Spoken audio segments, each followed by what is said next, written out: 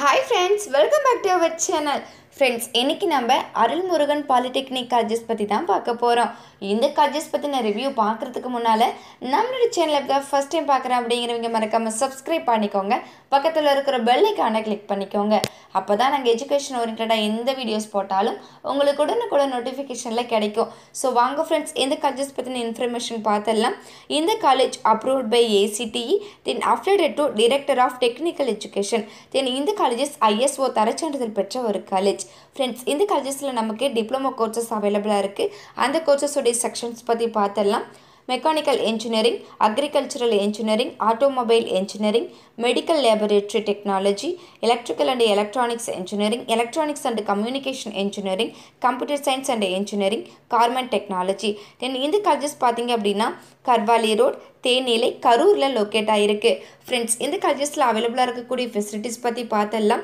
hostel transport library internet campus lab class room sports gym then அது மட்டும் இல்லாமல் இந்த காலேஜஸில் நமக்கு பிளேஸ்மெண்ட்ஸ் கம்பெனிஸ் கூட அவைலபிளாக இருக்குது அந்த கம்பெனிஸோடைய நேம்ஸ் பற்றி பார்த்துடலாம் Asian lift spiders HP IDBI bank Bosch Kotak Infonet solution Justdial V technologies Tech Mahindra Zoho CBS Accenture Reliance Cognizant கீதம் soft Axis bank TCS. Friends நீங்கள் பார்த்துட்டு இருக்க இந்த வீடியோஸில் நீ டவுட்ஸ் இருந்தாலும் சரி இல்லை college course fees detail admission process eligibility scholarship any doubts இருந்தாலும் கீழே ஸ்க்ரீனில் தெரிய நம்பருக்கு உடனே கால் பண்ணுங்கள் உங்களுடைய டவுட்ஸ்க்கு கிளாரிஃபிகேஷன் கொடுக்கறதுக்கு எங்கள் டீமே காத்துட்ருக்கு. ஃப்ரெண்ட்ஸ் நீங்கள் பார்த்துட்டு இருக்க இந்த வீடியோ உங்களுக்கு பிடிச்சிருந்தா மறக்காமல் லைக் பண்ணுங்கள் ஷேர் பண்ணுங்கள் கமெண்ட் பண்ணுங்கள் சப்ஸ்கிரைப் பண்ணுங்கள் மறக்காமல் பக்கத்தில் இருக்கிற பெல்லைக்கான கிளிக் பண்ணுங்கள்